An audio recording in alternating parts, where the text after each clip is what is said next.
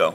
This is Kyle the Komodo dragon. Whenever he sees something or an object in front of him, he bites, backs up, goes forward, and bites again.